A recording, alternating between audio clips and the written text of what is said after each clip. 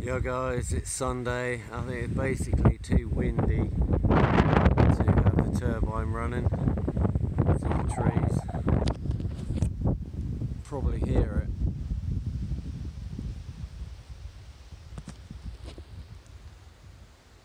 It was actually going so fast I couldn't see the blades.